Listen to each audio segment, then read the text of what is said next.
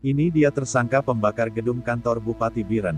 Biren, gedung kantor Bupati Biren atau gedung kantor pusat pemerintahan, Pemkap Biren di kawasan Kotgapu, Kota Juang Biren sudut sebelah barat bagian dari kantor Bapeda Biren terbakar, Senin, tanggal 8 Maret tahun 2021, terjadi sekitar pukul 6 waktu Indonesia Barat. Namun, setelah dilakukan penyelidikan, kantor pemerintah tersebut bukan terbakar, tetapi sengaja dibakar oleh seseorang. Pembakaran itu diduga dilakukan seorang oknum PNS di salah satu kantor di gedung tersebut. Menurut informasi terakhir, oknum PNS itu sudah diamankan tim Polres Biren. Kepala Bapeda Biren, Muslim MC kepada serambinews.com, Senin, tanggal 8 Maret tahun 2021, mengatakan, kebakaran melanda lantai tiga bagian dari kantor Bapeda Biren. Muslim mengatakan, setelah kejadian itu, tim Polres Biren mengamankan satu unit CCTV dari salah satu sudut, kemudian mengamati dan menyelidiki secara detail. Tim mempelajari gambar rekaman CCTV terkait terkait kasus hilangnya sejumlah barang di ruang Bapeda Biren dan juga rekaman insiden kebakaran.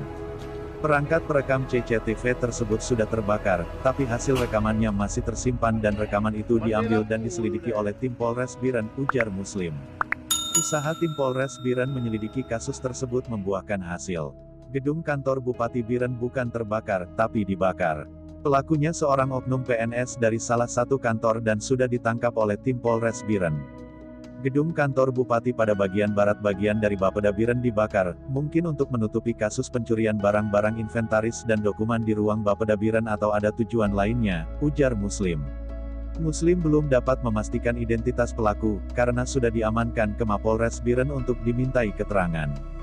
Kapolres Biren, AKBP Taufik Hidayat SHSI KMC melalui Kabak Ops Polres Biren, Kompol Yasir CMM serta Kasat Reskrim AKP Fadila Aditya Pratama SIK mengatakan, gedung kantor Bupati Biren sengaja dibakar dan pelakunya diduga berinisial HEN, 40, salah seorang PNS, beralamat di salah satu gampong di Kecamatan Kuala, Kabupaten Biren.